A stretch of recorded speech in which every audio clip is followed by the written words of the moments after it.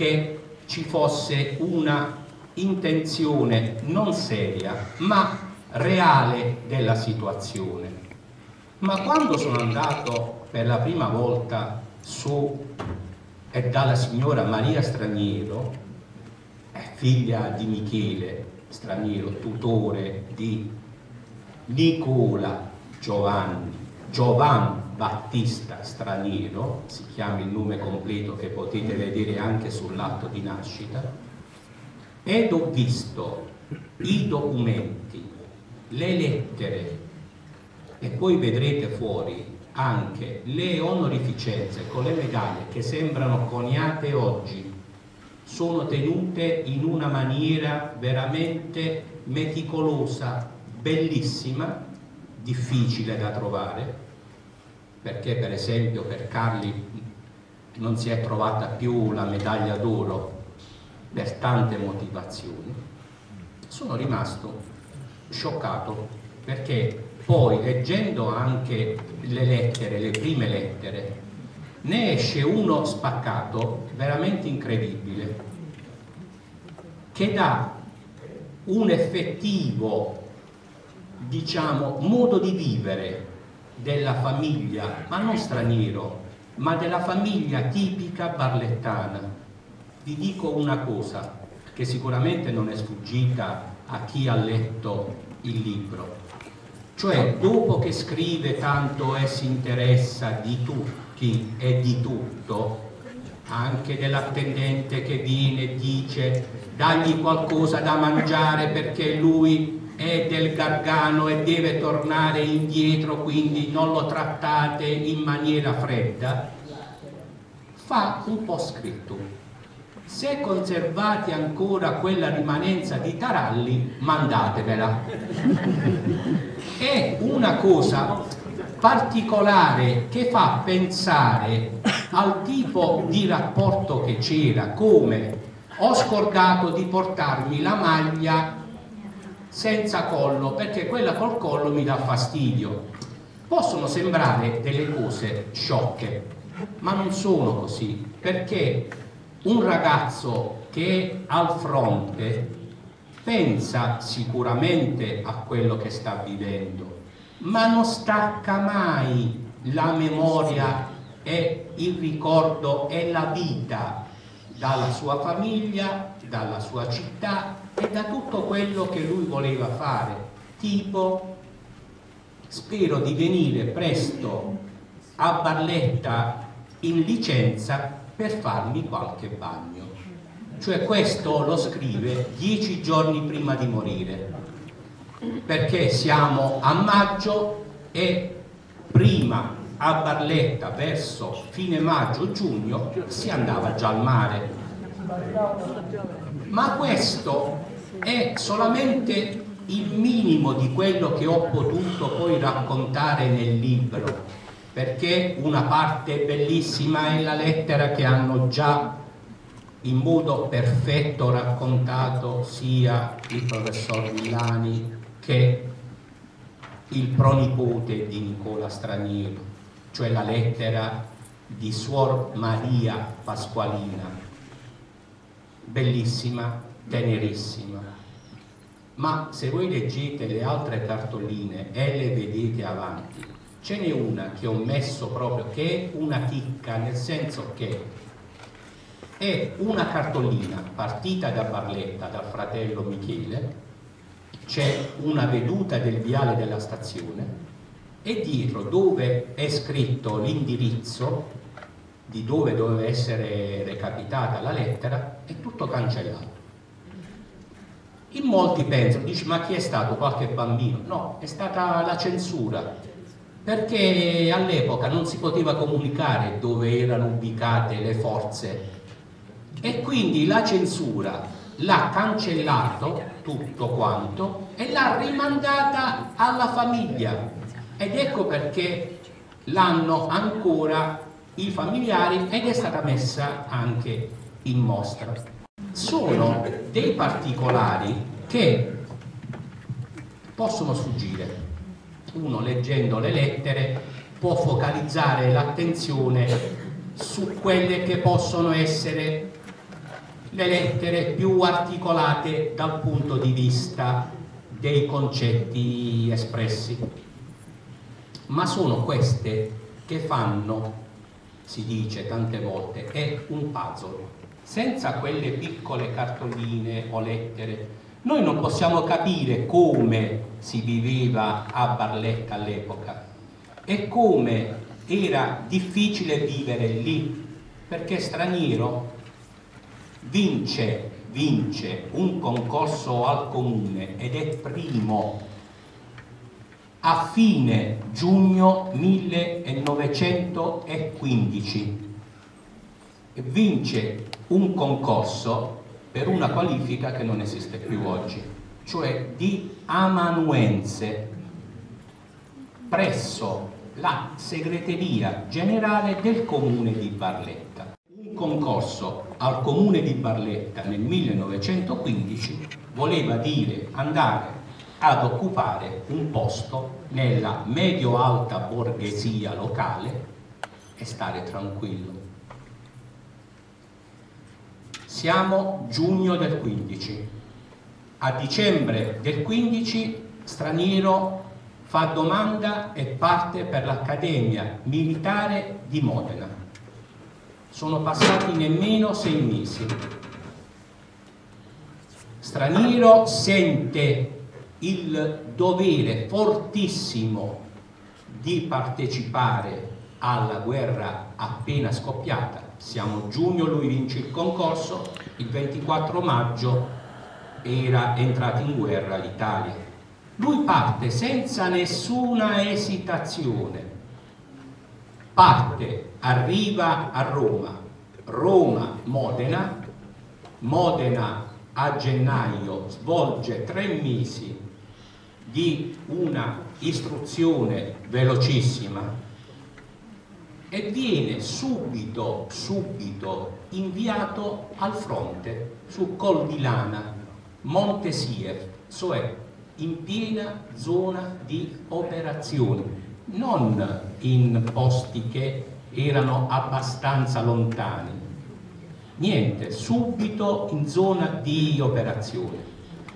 Leggendo le lettere si vede un passaggio non graduale, ma repentino, dal sto bene, mi trovo bene, al non vi preoccupate il non vi preoccupate era indicativo di una situazione non più ottimale, era una situazione che già lamentava alcune pecche, tipo siamo costretti a dormire praticamente in bare perché erano delle, un ricovero fatto in legno dove dormivano in due poi subito dopo si riprende, dice no, statevi tranquilli, tanto mangiamo e mangiamo anche la frutta candita. Subito dopo poi dice, ma che tristezza qui. E dice, qui c'è solamente neve e c'è solamente divise grigie. Sembrano gli appartenenti alla congrega di San Giuseppe che che a Barletta fanno la processione del venerdì santo e qui scatta il ricordo, la nostalgia, dice ah, vorrei tanto vedere i barlettani con le pagliette bianche mentre assistono alla processione del venerdì santo. E anche la sorella famosa Suor Maria Pasqualina, dice ho sentito che lì stai avendo dei dubbi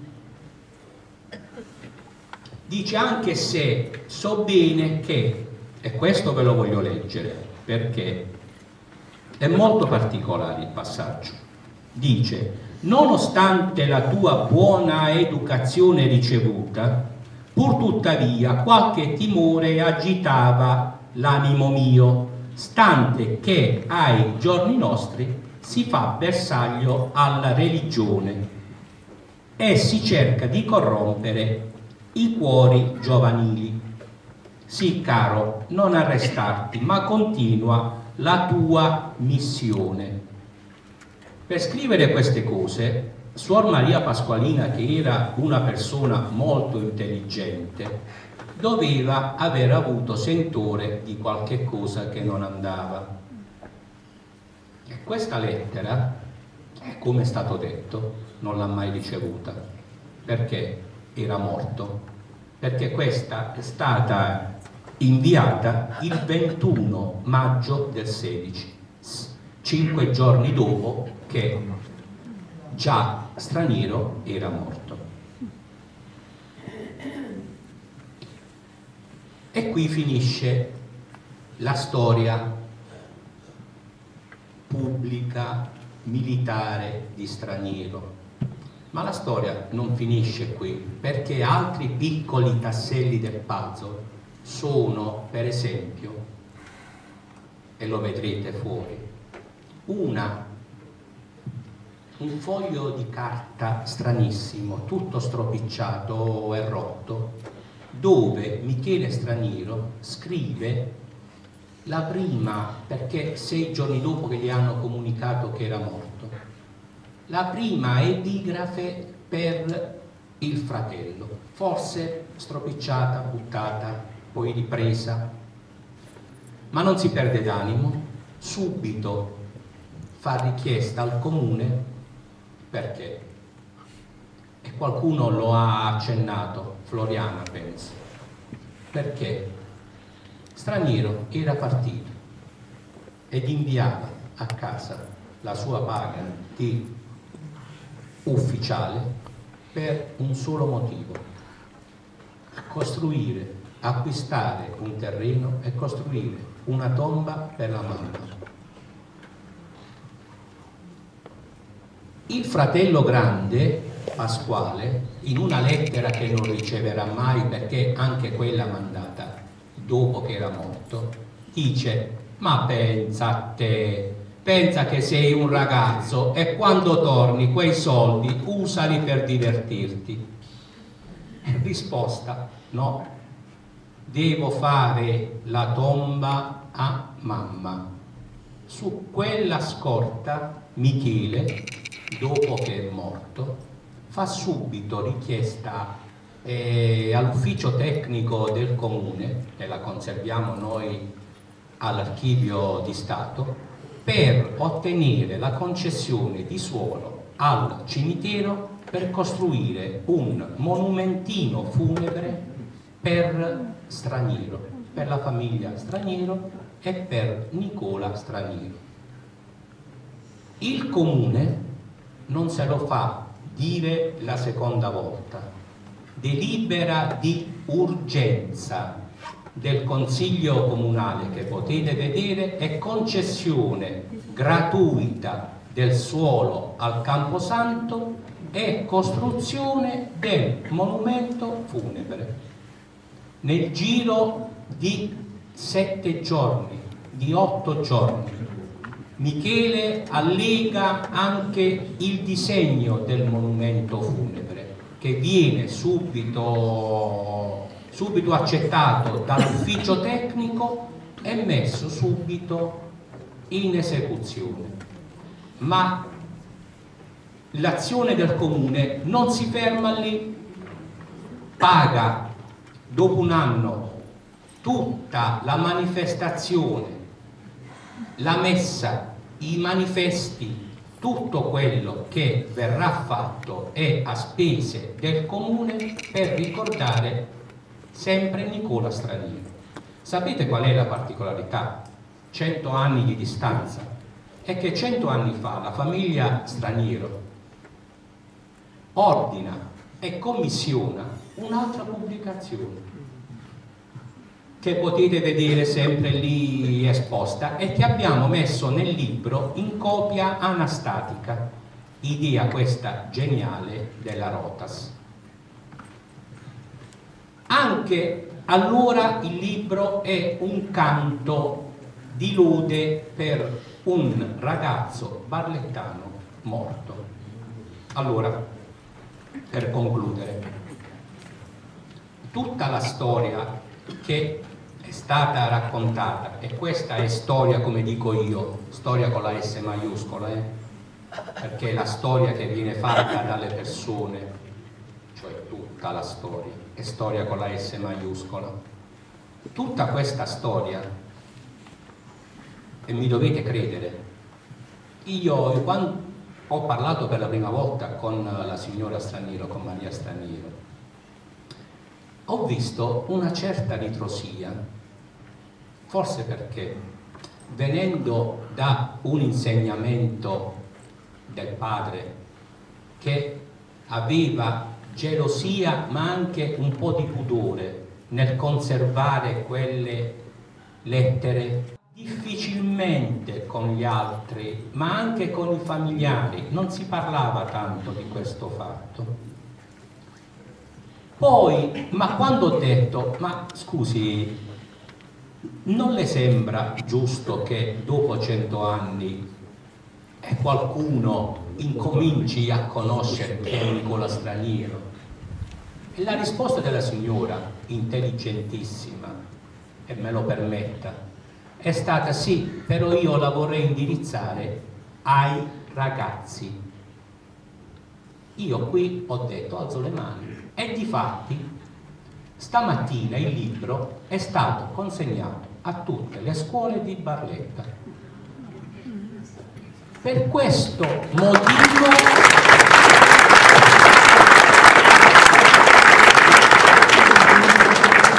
per questo motivo particolarissimo io quando faccio visite guidate, così si chiamano quando vengono le scuole per delle mostre e mi permetto di chiedere, ma voi conoscete Carli?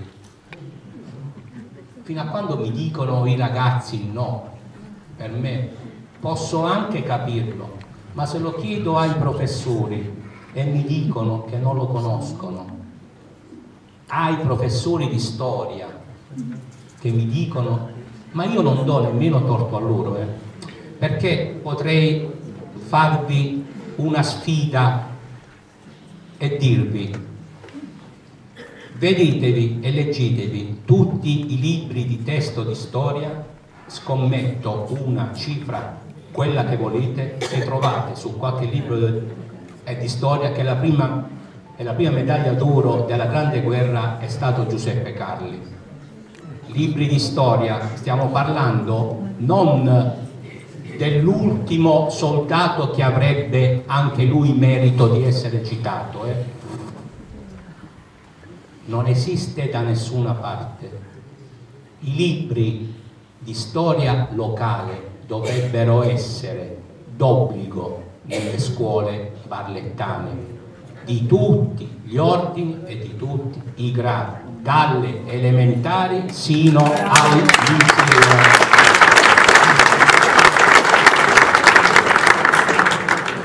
se qualcuno si andasse a studiare le carte non avrebbe più dubbi di niente. Più volte io dico che non sono né uno storico né un, uno scrittore, io sono un cronista di storia, cioè io riporto quello che è successo 100, 200, 300 anni fa. Non aggiungo niente e tolgo niente, riporto quelli che sono i fatti. Ed è quello che fa il classico cronista, cioè va sul posto, vede che cosa è successo e lo riporta. Io non ci metto né ideali né le convinzioni politiche, no, io scrivo di storia, non mi interessa altro. E questo dovrebbe essere la missione dei libri di storia locale nelle scuole, perché un bambino, scusatemi, nella sede della sezione ci sono i manifesti delle varie rievocazioni della disfida. Io indico perché un ragazzo dice, dice, eh che bello, e dice lì ci stanno i cavalieri, e dico ma tu conosci chi è Ettore Ferramosca? No, scuola media Ettore Fieramosca, Barletta. Per non parlare di persone come Straniero, o come Carli. Vi dico l'ultima cosa, proprio perché, proprio perché ha detto il sindaco, voi conoscete persone come Doronzo, Garinella, La Notte, Mennea, Berardelli, Colaprice, ancora La Notte. Sapete chi sono questi? Sono medaglie di oro, argento e bronzo della prima guerra mondiale. Non li conosce nessuno. Allora, accogliendo la proposta fatta dal sindaco, sarebbe una cosa veramente bella fare delle monografie da dare alle scuole sui personaggi che hanno dato la propria vita per la propria patria. Sapete quanti ne sono stati nella prima guerra mondiale? 760. 760. E quindi spiegata la ragione del libro, è spiegata la mia personale, personale motivazione perché ho deciso ed ho, ed ho accettato subito di scrivere il libro su Nicola Straniero. E grazie.